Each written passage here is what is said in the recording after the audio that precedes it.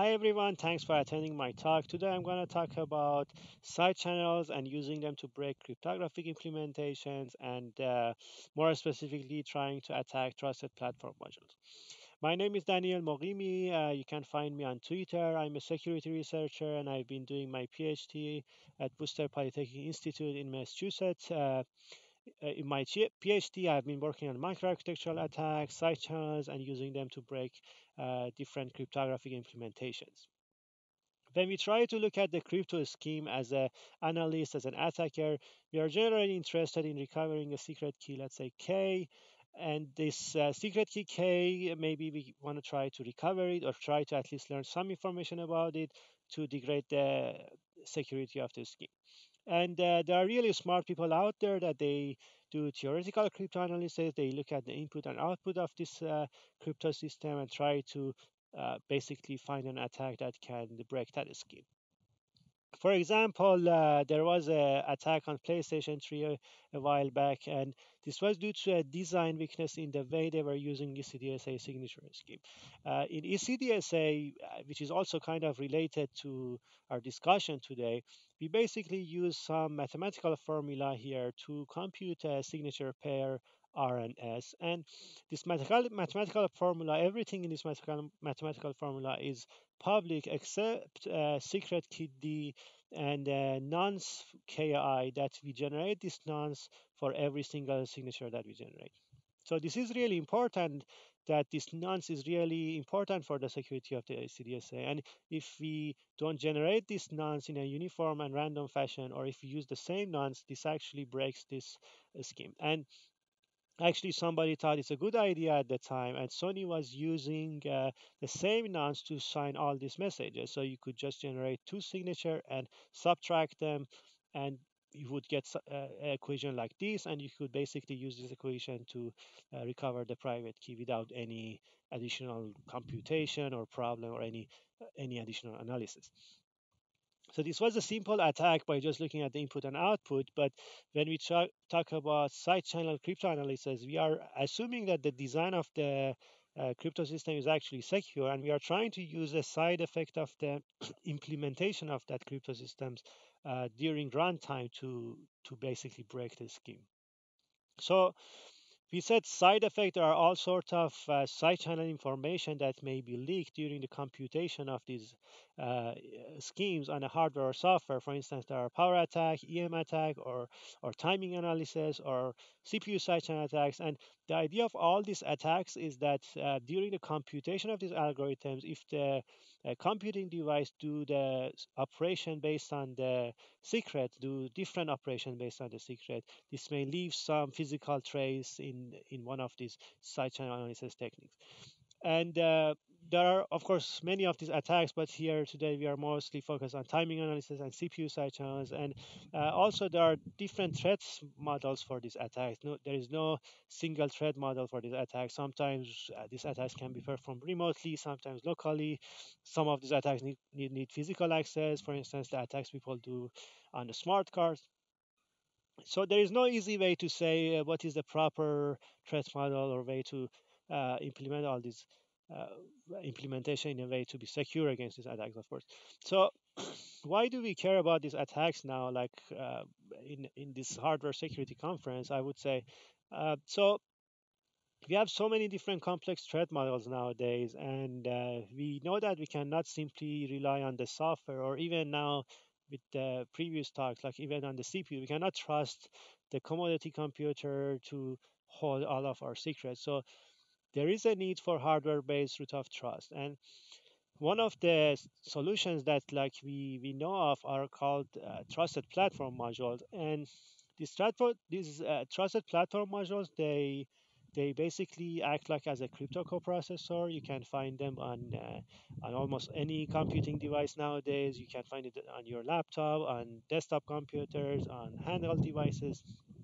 So this trusted, trusted platform module only run a specific limited number of operations, and it's a it also is supposed to be resistant against attacks. For instance, they have uh, claims and certification that okay, this trusted platform module is uh, resistant against side channel attacks, or it's resistant against uh, some uh, fault attacks. So you put uh, all these keys of uh, that you have, for instance, for financial transactions, for passwords and everything. You can put these things inside this trusted computing base that you created with uh, trusted platform modules, and you put everything else as unsecure and untrusted in when you use uh, one of these security devices.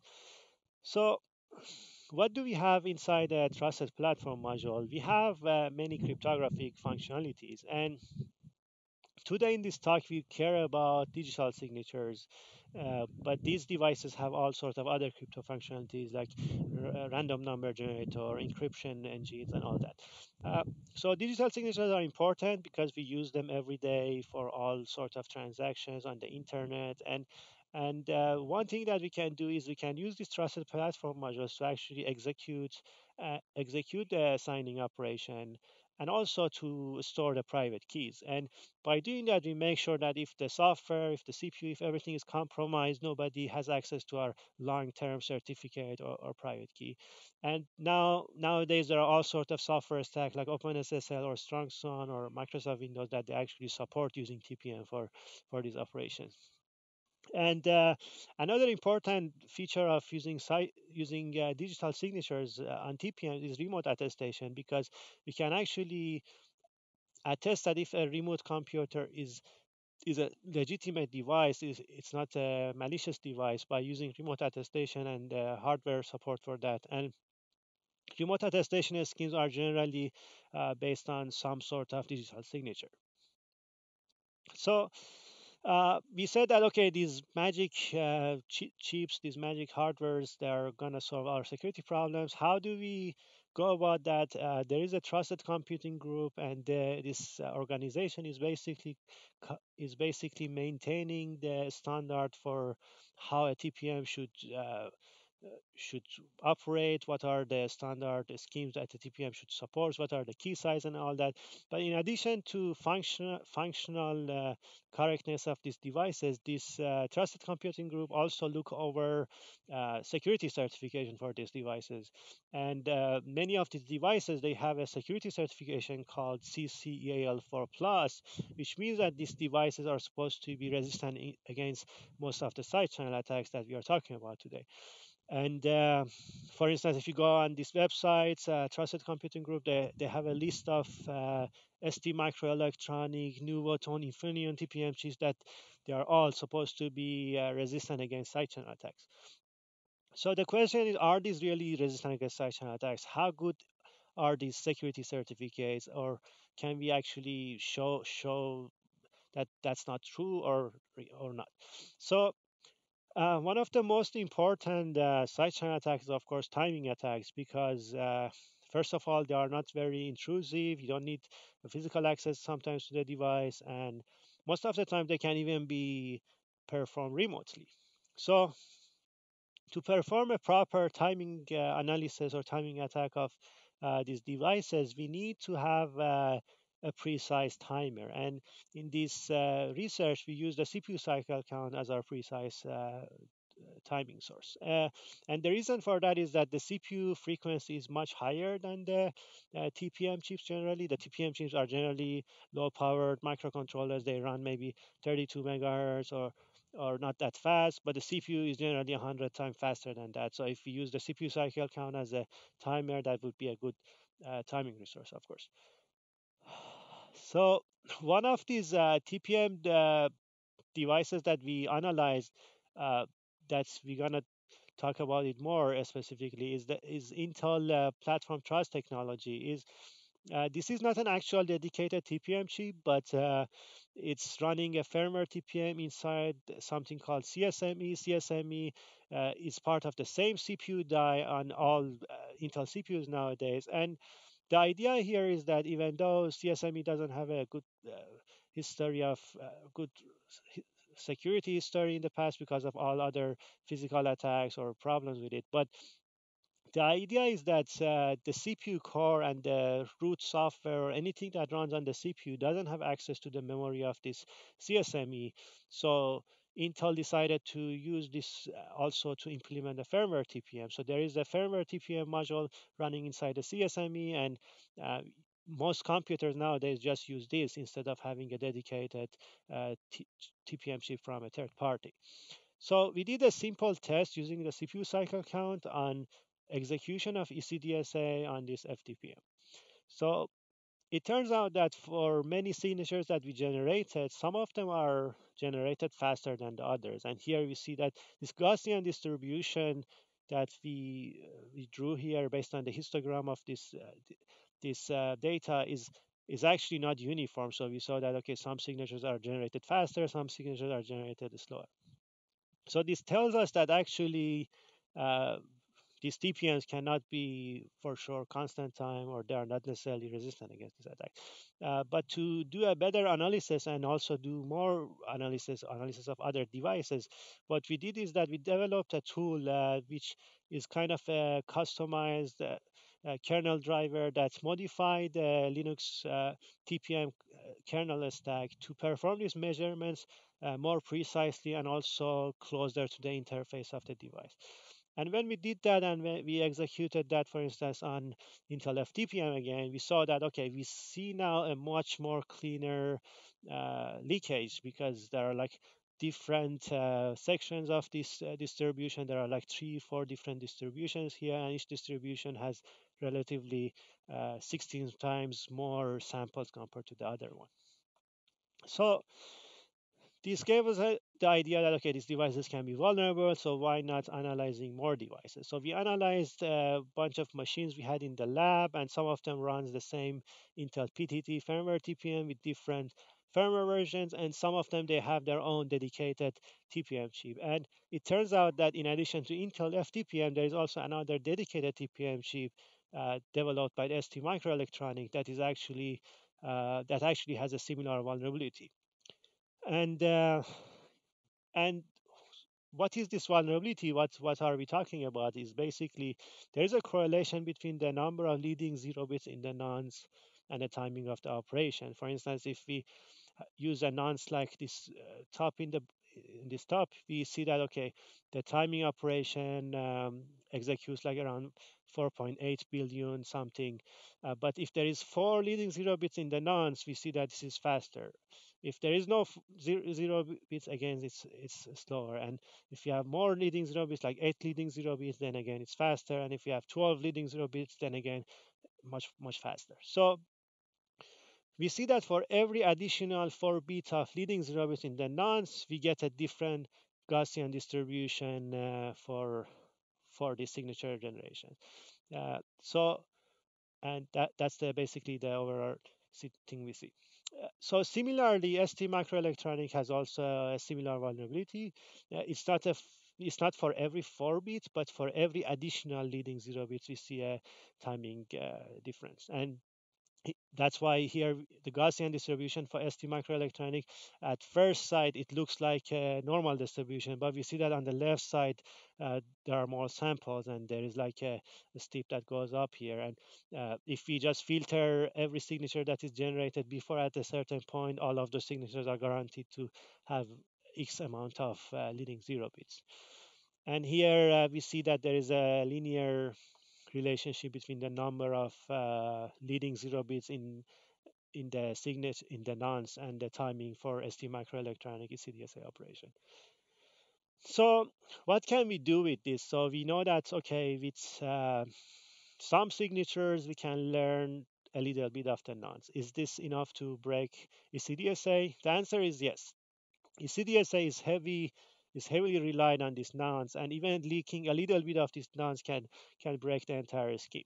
So there is a there is a well-known technique called lattice-based uh, attacks on the ECDSA that can actually help help us with this.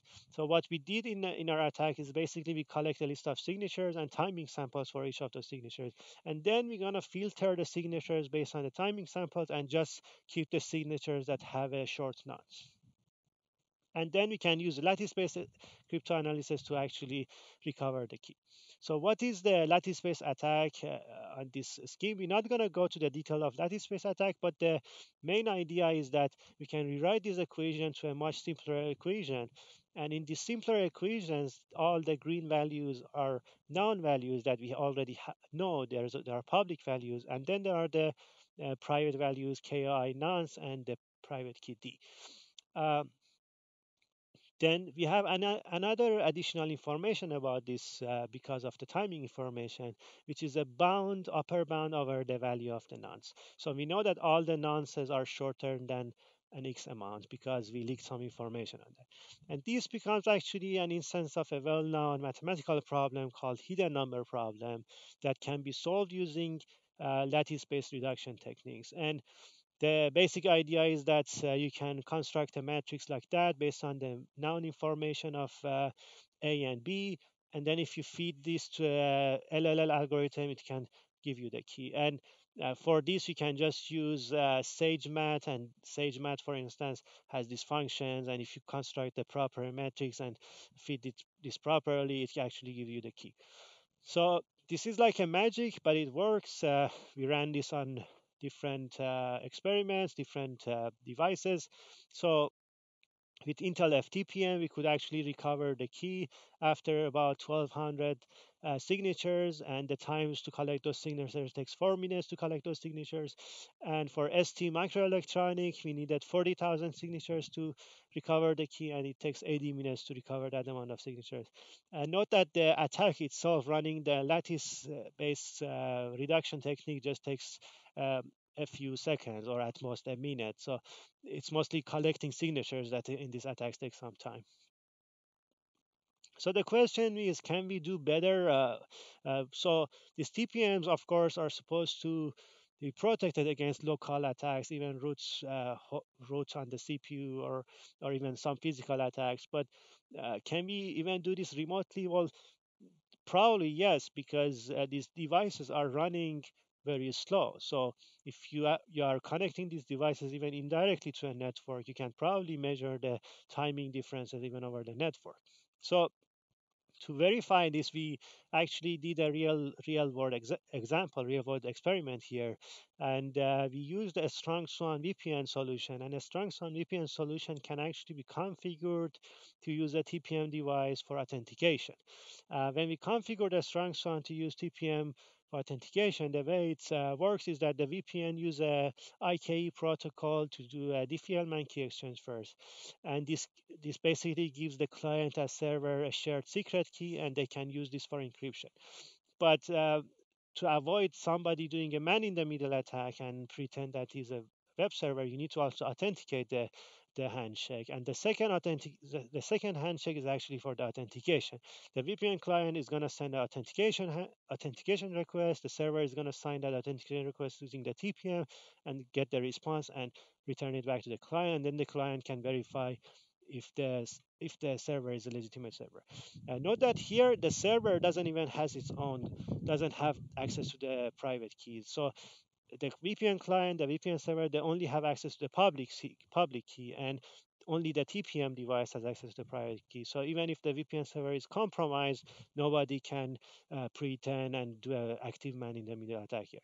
But using this timing information, we can again do this operation and collect enough signatures to actually recover that private key and we did this attack uh, with 44,000 handshakes that takes five hours on a local network. We managed to actually get enough timing samples and get enough timing information to actually filter our signatures and recover the secret key. And here we see that, for instance, you could recover the secret key with about uh, 60%, 70% success rate uh, in this attack.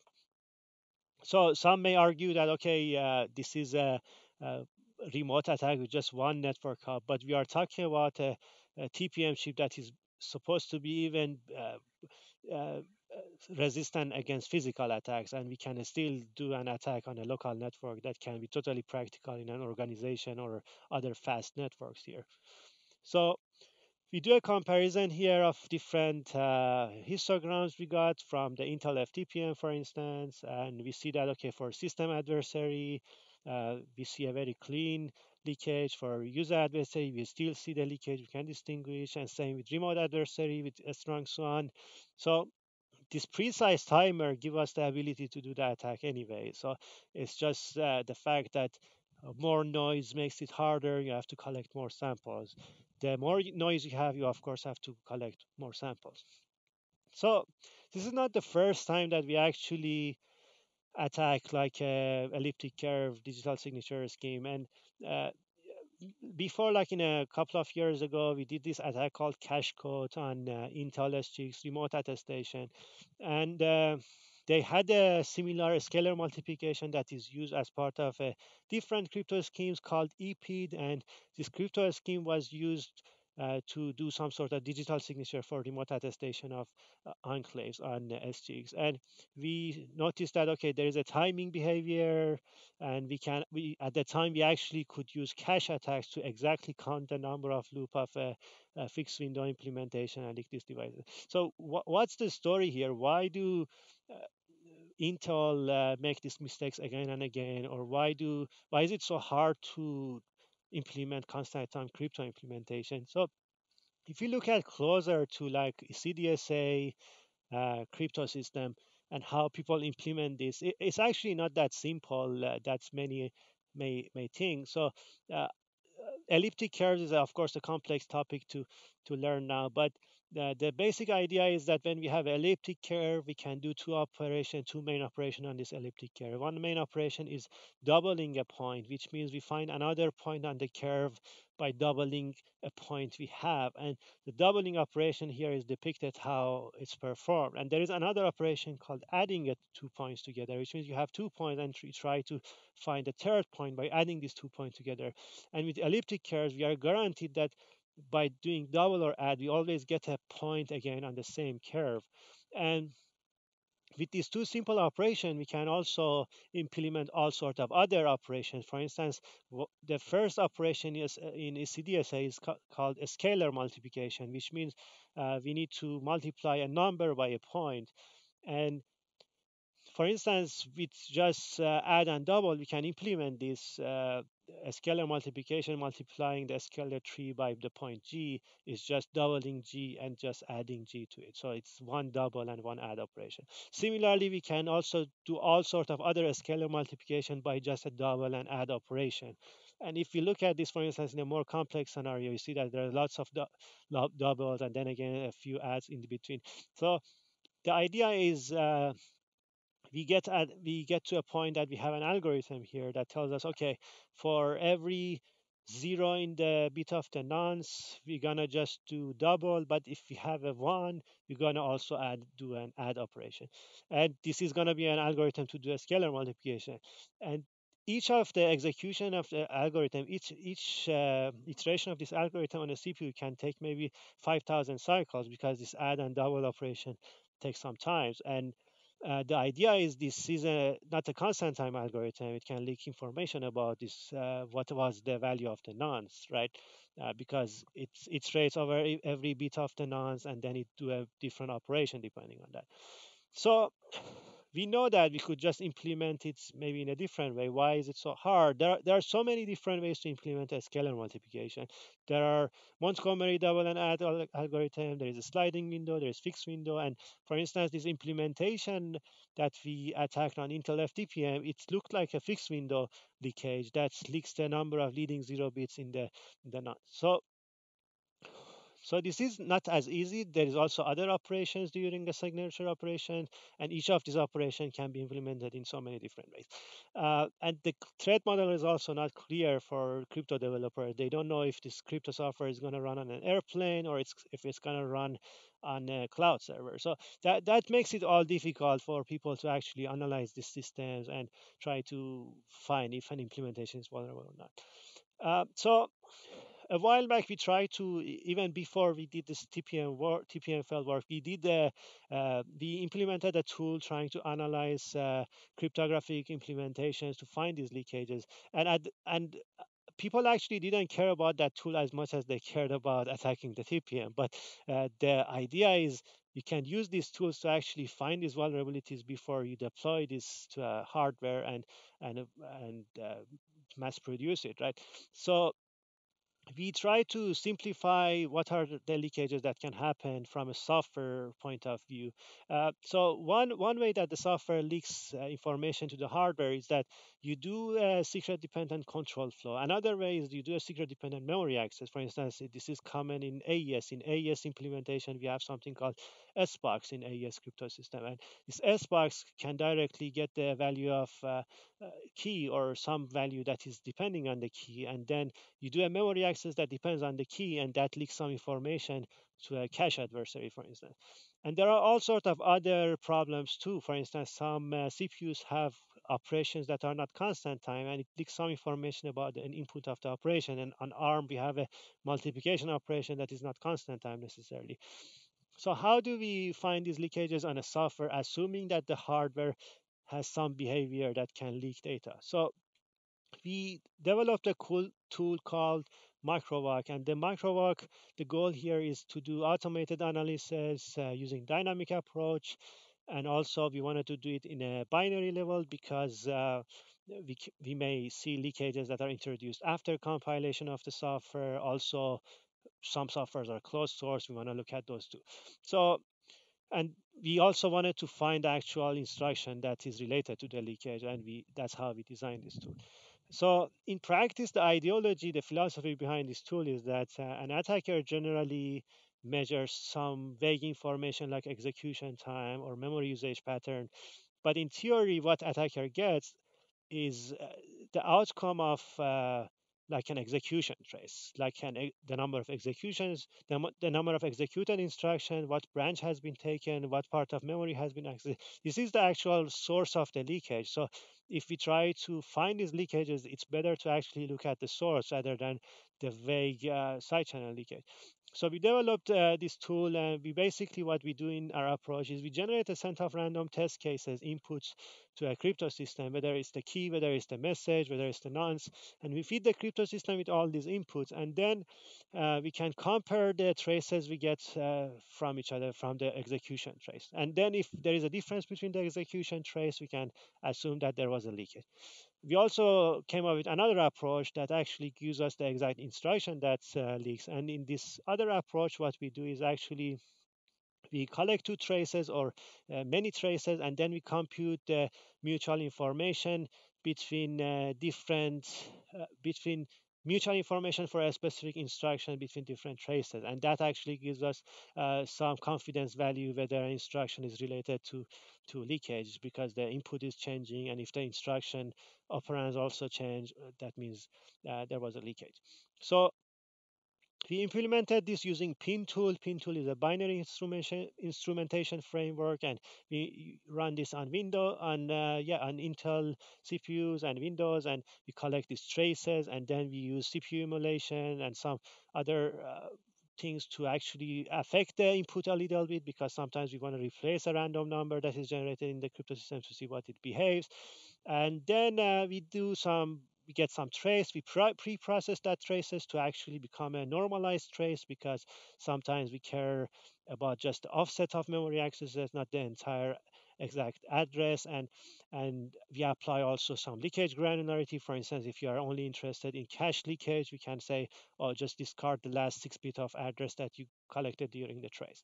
So after we got these traces and after pre-processing, then we feed this tra- pre-processed trace to our analysis techniques, and then we figure out if there was a leakage or what instruction it was leaking. And we could also do all sort of analysis uh, based on CPU uh, CPU side channel attacks, based on the number of uh, based on what we want by configuring this tool. So this tool was useful. could, these vendors, if they knew about this tool, they could actually find these vulnerabilities before we find us later. Uh, so we'll get back to the story of uh, responsible disclosure. The story is we reported this vulnerability to ST. They acknowledged. We had so many phone calls, discussions.